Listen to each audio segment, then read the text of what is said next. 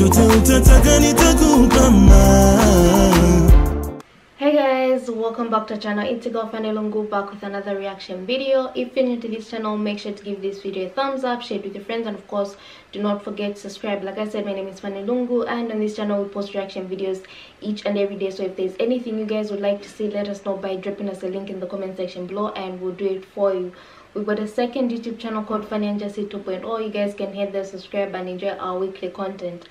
We've got um a podcast called Diving In with Fanny and Jessy, and we have some amazing conversations which I'd like for you guys to uh, listen to. I'm sure you enjoy them. You can find us on iTunes, Spotify, Podbean, this channel, and our second YouTube channel for the visual. We've got a Patreon called Fanny and Jessy, and you guys can feel free to become members. We'll appreciate a big shout out to everyone that has subscribed to our channel and everyone else that's liking, commenting, sharing. Thank you very much. I hope you guys are doing alright and may you stay blessed. So today I'm going to be reacting to It Makes Sense. I want to become Muslim. Street Dawah. So without wasting time, let's get into the video. So David, if, if you, know, you know, we know that the, this creation is being created for a purpose, correct? Yeah. The fact that we can analyze that the Creator has a wisdom, and for example, we have a nose next to our mouth. Before you eat, what you do? Smell food. Yeah. So the fact that Creator put a nose next to your mouth that indicates wise. You if your nose was next to your anal, it'd be crazy, innit? It sounds a bit funny, but it's mad, you know? We have a joint in our elbows. Imagine we had we never had a joint, you will never be able to eat. Rather, you start eating like animals. So the fact that the, the, the creator put joints in our elbows indicate is wise. Likewise, we have the teeth in our mouth. Why? Because we chew with our mouth. You know what I'm saying? So when you look, that's what Allah said in the Quran. Allah always, Allah said, inna, as an Arabic and translated, yeah? Allah said, inna fi al-samawati wal ardi wa ikhtilafi al-layli wal nahari la'ayatin li'ul albab. Allah said, within the creations of the heavens and the earth, and the oceans between them, and the alteration of a day and a night, it is a sign for people of understanding, people of a sound intellect, okay? So when you analyze and reflect upon the creation, you know there is a purpose of life. But who knows our purpose except who? The creator. What's going on to you? For example, David, let me make it clear to you. Now imagine you never came across a car. The first time you see a car. If you want to know what is the purpose for this car to be made, who you should ask? The creator. That's a logical argument. You see what I'm saying? Likewise, a microwave, anything. So therefore, we know, generally speaking, there's a purpose. That's why, based upon the creator's wisdom and his mercy, he chose people amongst us, from human beings, from our kind, to teach us about our purpose. But again, many people can claim to be what? Messengers of God, but they are liars. So based upon God's wisdom and mercy and justice, when he chose people amongst us our kind, he gave them something that differentiated from the rest of the people. In order for you and I to differentiate between a true prophet and a false prophet. You know? For example, if I'm a king and I want to send my ambassador to another king, I will give to my ambassador a criteria or something that distinguish him from all the false ambassadors. For people to know, yes, he's my ambassador. What about the king of the kings? The all-wise, the creator. So what is the criteria? The criteria that when God chose prophets and messengers, there is known, he chose only those who are known amongst the nation to be trustworthy, truthful, honest. Okay? Likewise, he gave them like something which is sup- supernatural, something which human cannot do. For example, to miracles, to prophesy about the future. So, do you know about Jesus, Moses, Abraham? What I have to do, logically speaking, if I establish Muhammad is, Muhammad is a true prophet, logic dictate you should believe what he came with. Logical? For example, if some if, if I have any or you have like a example, if I have if I have a disease with me, may Allah forbid, and a doctor comes to me and he established to me with the clear proofs he's a true and an expert, then logic dictates I should believe and follow his advice. Okay? Now Prophet Muhammad lived 1400 years ago. He was one known amongst his nation to be trustworthy, truthful and honest. One minute, yeah? Even there is a non-Muslim historian, I'm coming to you. There is a non-Muslim historian, look what they said about him. I have studied him, that wonderful man. And in my opinion, far from being an antichrist. He must be called the savior of humanity. George Bernard Shaw, the genius Islam. And many people who are non-Muslims, historians, study about his biography with sincerity and they come to the conclusion this man is an honest man, a truthful uh, person. That's the first one. The second one, Prophet Muhammad salatu prophesied many things about the future. For example, he said there will come a time when you see the barefoot Arab man competing in building tall buildings. When the Prophet Muhammad mentioned that, David, back in those days, the Arabs were not known to do that. Those who were known, the Persians, the Romans, the Egyptians, the Greeks. Let me ask you, maybe you know, where is the tallest building in the world? Dubai. Dubai is Burj Khalifa. And who's competing with them? Saudi.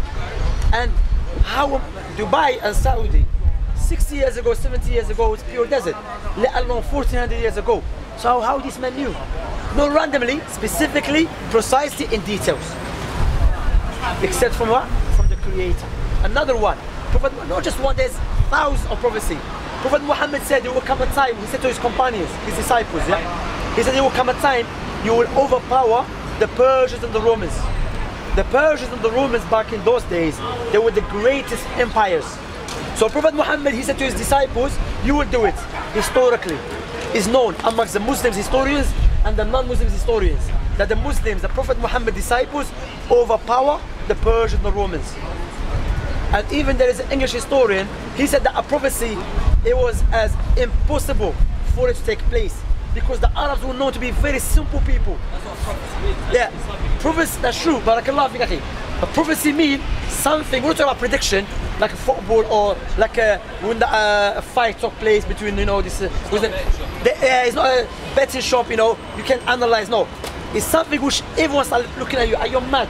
You telling me this will happen? But it's happening. So again, another prophecy, Prophet Muhammad said, there will come a time when the Muslim will take over Constantinople, David. Do you know Constantinople? No, I don't. Constantinople is Istanbul, Turkey. So the Muslim took over Constantinople after Prophet Muhammad passed away 700 years or 800 years. How he knew that? Again, you know what? In the Quran, Allah mentioned the prophecy in the Quran as well. Allah said, وَلَقَدْ يَسَّنَّ الْقُرْآنَ لِلذِّكْرِ فَهَلْ مِن مُدَّكِرٍ We have made Quran easy to be memorized. So this verse has been mentioned 1400 years ago. David, this book, it has been memorized by 100 million of people who does not speak the language of the book. That is a miracle. It's like you and I will memorize a book the size of this book in Chinese, but none of us speak Chinese. It Doesn't make any sense. You see what I'm saying? And that is the power of miracle. You know? Let me ask you something. David, imagine I say, you know what? I like you, David. I'm gonna give you two million pounds. It's a gift from me. Just take it. What would you say to me at least? Thank you. Thank you. Would you remember me all the time? Sorry? Would you remember me all the time? Yes, I will. Of course. Two million pound? Boy, when you buy a nice house, you remember Shamsi. Okay? But listen to this, David, now. I will give you two million pound on the condition, give me your two eyes. Would you do that? No, no, go. You say why? Because your two eyes is more valuable than two million pound. So why don't you thank and remember the one who gave you two eyes for free? See? You see, that's what Allah said in the Quran. Allah said, Oh mankind, mankind, you and I, not just a Muslim, worship your creator, the one who created you and your forefathers. That's what Allah subhanahu wa ta'ala mentioned. فَبِأَيِّ آلَاءِ رَبِّكُمَا تُكَذِّبَانِ Which one of you God's favor you are denying? You know, when you look, if someone comes try to kill one of us, we will run away to save our life. So the life that we have is so dear to us. But what about the one who gave it to us for free? Why don't we thank him? You know, that's why Prophet Muhammad said, if you want to appreciate what God has given you, look to those who below you. Some people cannot walk. Allah already mentioned is a test for us, to test us with one another. Some people are poor, you know, but it's a life for you to reflect, to say, look, I'm able to walk, I'm able to see. I should be grateful to my Creator. But now, that's one thing. That's why that's that's why Islam. You know, Islam, the founda- the foundation of Islam is the testimony. Two of them. The first one, to say, oh God, I should appreciate, I accept with my heart, and I profess with my mouth, and I implement with my actions that I should appreciate what you have given me, and I should worship you alone. You know, the second part, how should I worship the Creator? According to my feeling, but your feeling and my feeling are different. So which one is correct? No, That's why the Creator sent the prophets and messengers. We should worship the Creator the way He wants us to worship Him. Just as if you want to buy a gift for your friend, would you buy a gift that your friend love or the, the gift that you love? Yeah, that my friend loves. That's what I'm saying. So if you want to worship the Creator, worship Him the way He loves. That's why the Creator sent the prophets and messengers. Allah sent the Quran that Allah will never punish anyone until the proof has been established upon them. Like if someone never heard about Islam and he dies on the day of resurrection, Allah will test him. Will not punish him directly because he never knew the truth. But if the truth is clear to him and he turns away from it, Allah said, وَمَنْ أَظْلَمُ مِمَّنْ ذُكِّرَ بِآيَاتِ رَبِّهِ ثُمَّ أَعْرَضَ عَنْهَا إِنَّا مِنَ الْمُجْرِمِينَ مُنْتَقِمُونَ Allah said, who is more unjust than the one who is reminded with Allah's verses, with Allah's signs, the universal signs and the legislative signs, and he turns away from it as if doesn't make like he doesn't care about it.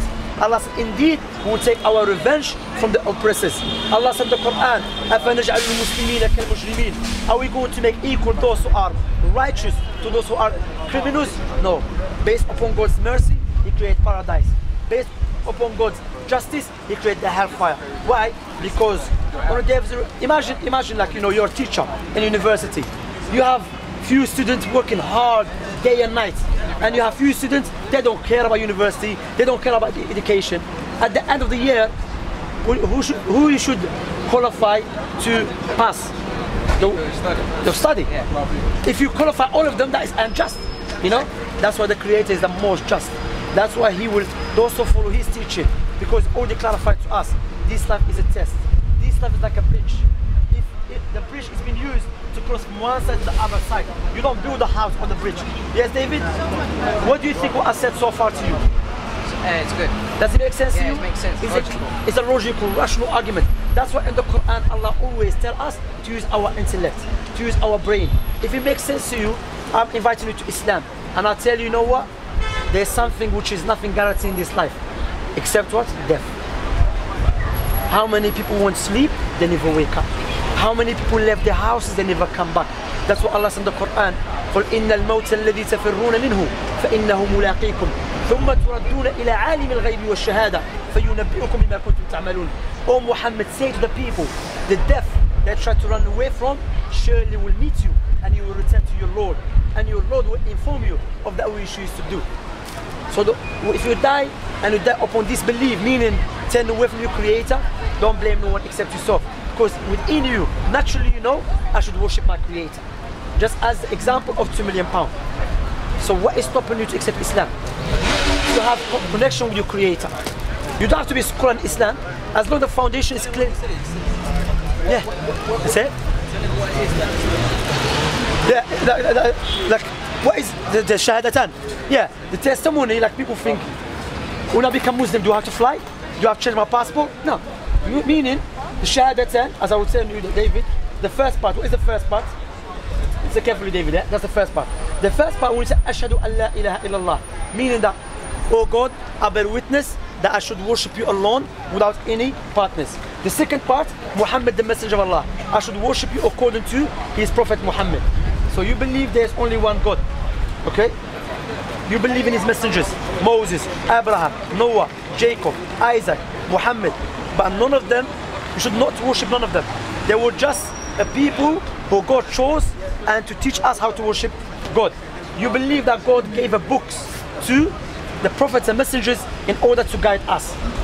Likewise, you believe in the day of judgment, that one day you're going to die and God will judge according to your action. And also, whatever take place in this universe take place by God's permission. And then the actions, you pray, you fast. But again, I always say this David to the people. Imagine someone give you a whole cake and you eat all of it one time. What will happen to you? Sick. Yeah, you, or you'll vomit. In order for you to feel the, the sweetness of the cake, what do you do? Sorry? In order for you to feel the sweetness of the cake, how do you eat it? Bit by bit. Bit by bit, slowly. Islam like this. The foundation, step by step. Islam means submission. Jesus was a Muslim. Abraham was a Muslim to submit to. What? Huh? Prophet said, if someone become Muslim, Prophet Muhammad, who does not speak from his own desires, he speak what God told him. He said, when someone become a Muslim, all his sins is forgiven. You become like a newborn. However, again, shows you what the justice of Islam. If you talk, uh, money, uh, uh, people's money, give it back to them. But whatever between the Creator is forgiven. Does it make sense to you? It does make It's clear to you. It's clear. Do you want to become Muslim? Oh, yeah. Okay. It's, it's logical. Okay, I'm gonna tell you to say in Arabic, then in English. Say Ash. Ashhadu I do. an And la la ilaha ilaha illa illa Allah Allah. wa Wa ashhadu ash. I do. anna Anna Muhammadan Muhammad Rasul Rasul Allah. Allah. In English, I bear witness I bear witness. there is no one There is no one worthy of worship worthy of worship except except Allah. Allah. And I bear witness And I bear witness that Muhammad that Muhammad is the last is the last messenger messenger and the servant and the servant. of Allah. My brother David, let me hug you, man. You're my brother in Islam now. You have all your brothers here, they're gonna hug you. Look, you have, yes. The only brothers here, man, they're gonna hug you, congratulate you. Big family now you have, David. A big family. You know you are the second person who become Muslim today. Alhamdulillah. David, yeah? Yeah, David. Dawood, yeah? Dawood, you know David is one of the prophets Really? in, in Islam, but his name Dawood. But in English called David. David, I don't want to bombard you too much. That's right. Here, this is the Quran. You can read it. Thank you very much. Yeah, you're welcome. I'm very happy for you, Dawood. You made my day. Here, there's a book as well. Alhamdulillah. Now, look, you learn how to pray. Now you have contact with the Creator. As I said, naturally we know that I should appreciate the Creator. But how? Now you know how. That's the guidance. In the Quran, always Allah tells us to seek guidance. And He tells, tells us the guidance in the Quran. Alright, David? You have to so make sure. Do you know your number? Uh, no. But what I will remind you, David, with that remember, as I told you, this life is a test. So now the Satan, who is our enemy, try to to came upon you harder, but be firm. Allah said the Quran. Allah, said, don't don't think we, we say we believe. Allah will test you. Allah will test you to see who is truthful and who is a liar. So be firm because we're not gonna be with you all the time. So if you accept the truth and sincerity, then be firm regardless. You know, because you're going to die by yourself. I'm going to die by myself, and we're going to be in the grave by ourselves, and we're going to meet our Creator by ourselves. So be firm and be strong. But of course, as human nature, you need people around you. So you tell the brother's number, be in contact with him. You know, how do you feel? I feel great. All right, my brother. Assalamu alaikum.